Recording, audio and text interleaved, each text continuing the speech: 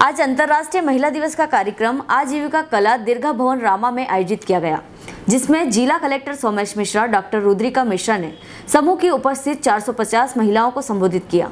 जिसमें उन्होंने 10 समूहों को 6-6 व 10-10 लाख रुपए के सीसीएल के चेक वितरित किए और अच्छे कार्य करने वाले समूह, ग्राम संगठन एंड सीआरपी को भी सम्मानित किया। समूह की दीदियों ने अपनी समूह से जुड़ने से संबंधित सफलता की कहानी भी शेयर की।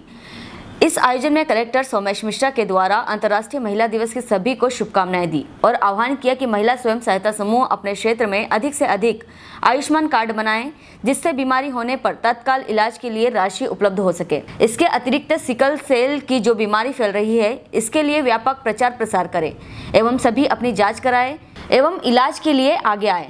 झाबुआ से अल्बर्ट मंडोरिया की रिपोर्ट। हेलो फ्रेंड्स, आप देख रहे हैं हमारा channel S W twenty four news. हमारे सारे वीडियो सबसे पहले देखने के लिए आप हमारे चैनल को सब्सक्राइब करें और पास में लगे बेल आइकन को दबाना बिल्कुल भी ना भूलें।